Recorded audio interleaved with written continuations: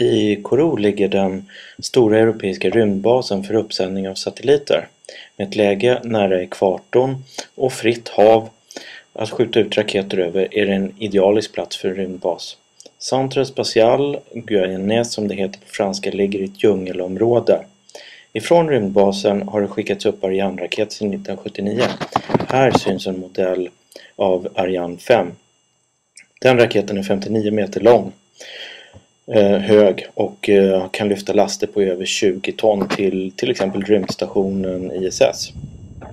Här kommer en Ariane 5 åkande ut från monteringshallen till uppsändningsplatsen som ligger två kilometer längre bort.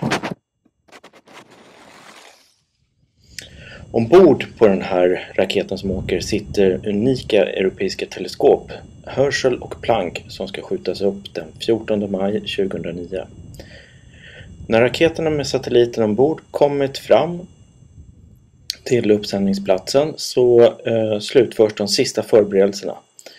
Och i närheten utav uppsändningsplatsen så finns det en del andra delar, bland annat ett vattentorn som pumpar ut stora mängder vatten precis i startögonblicket.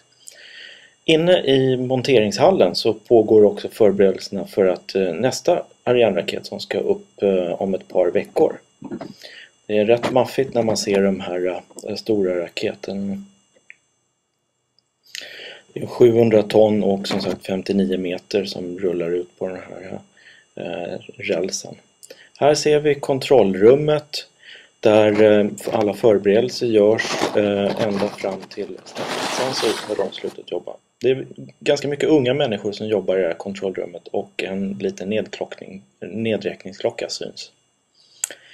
Men det är inte bara Ariane-raketer som skjuts upp. Det pågår också massvis med byggarbeten på Kourou. Bland annat så håller man på att bygga en helt ny anläggning där man ska skjuta upp ryska eh, raketer, Sojus-raketer, precis sådana som skjuts upp ifrån Ryssland har gjorts under lång tid, kommer från ungefär 2012 att eh, skjutas upp ifrån eh, Koro Kourou i franska Guyana.